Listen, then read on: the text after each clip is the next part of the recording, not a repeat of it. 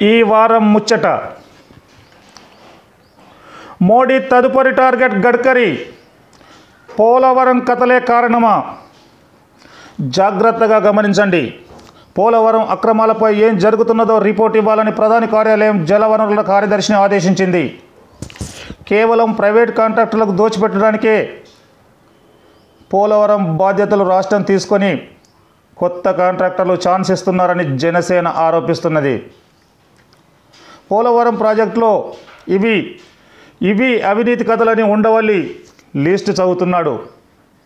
దీనిపై వైఎస్ఆర్ కాంగ్రెస్ పార్టీ మాత్రమే సైలెంట్గా ఉంటున్నది. స్ట్రేంజ్. పట్టిసీమ భాగవతాలు తేల్చండి అంటూ బీజేపీ తొలిసారిగా అసెంబ్లీ సాక్షిగా ఆరోపణలు దిగింది. రాష్ట్ర సాగునీటి శాఖ ముఖ్య కార్యదర్శి సీఎంఓలో సాగునీరు అంశాలు చూసే కార్యదర్శిపై సిబిఐ కన్నేసిందంటూ వార్తలు వస్తున్నాయి. పోలవరం అవినీతిపై మా దగ్గర ఆధారాలు ఉన్నాయని ఆ మధ్య కాంగ్రెస్ నేత జైరాం రమేష్ విమర్శలు చేశాడు.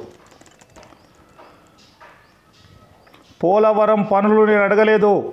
కేంద్రమే మాకు అప్పగించింది. దాని జోలికొస్తే బాగుండదని చంద్రబాబు ఉరుముతున్నాడు.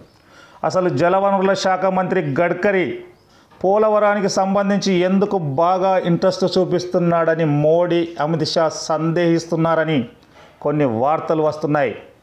సో వెంకయ్యను ప్రమోషన్ పేరిట ఉపరాష్ట్రపతిగా పంపించేసి పార్టీ వ్యవహారాల నుంచి కీలక నిర్ణయాధికారాల నుంచి కత్తిరించిన మోడీ అండ్ కంపెనీ ఇప్పుడు గడ్కరీని టార్గెట్ చేయబోతున్నాయా?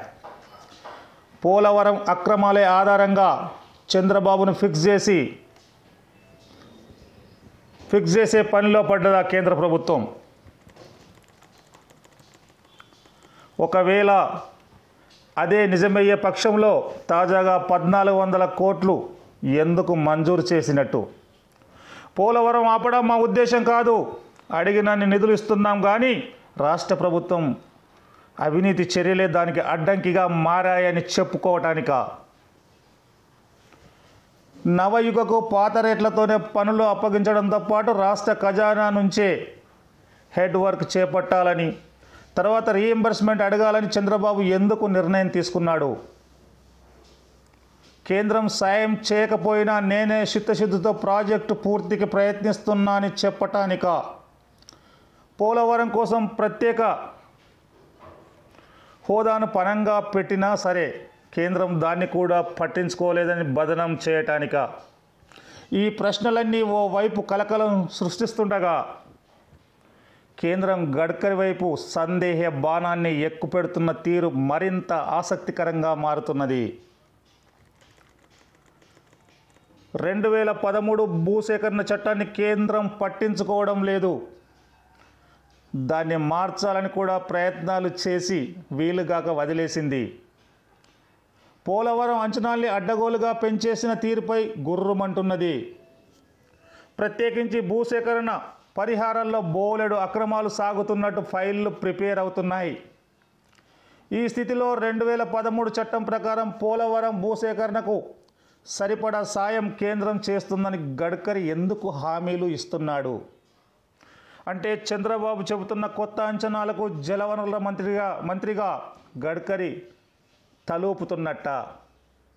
అసలు ఈ శ్రద్ధ వెనుక తన ఇంట్రెస్ట్ ఏమిటి? ఇవి ప్రశ్నలు. అయితే నిజానికి గడ్కరీ జోలికి వెళ్ళేందుకు మోడీ తను ఇప్పుడున్న స్థితిలో సాహసిస్తాడా? ఒక్కొక్క మిత్రపక్షమే దూరం జరుగుతున్నది. ఒక్కో ఉప ఎన్నిక చేదు ఫలితాన్ని చూపిస్తున్నది.